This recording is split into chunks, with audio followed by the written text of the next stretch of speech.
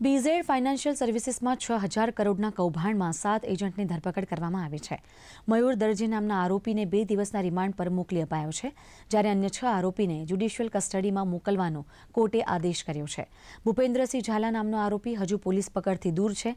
સમગ્ર મામલે સાબરકાંઠા જિલ્લા ભાજપ પ્રમુખ કનુભાઈ પટેલે સ્પષ્ટતા કરી હતી કે ભૂપેન્દ્રસિંહ ઝાલા ભાજપનો હોદ્દેદાર નથી અને તેણે ભાજપ થકી ભ્રષ્ટાચાર કર્યો હોય તો તે વાત સત્યતાથી દૂર છે.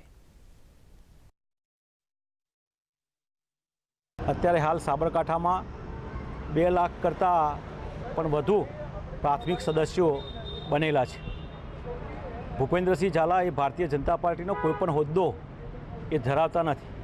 કે અમારી ભારતીય જનતા પાર્ટીની કોઈ પણ જે મિટિંગ હોય, એમાં કોઈ દિવસ એ ઉપસ્થિત રહેલા નથી.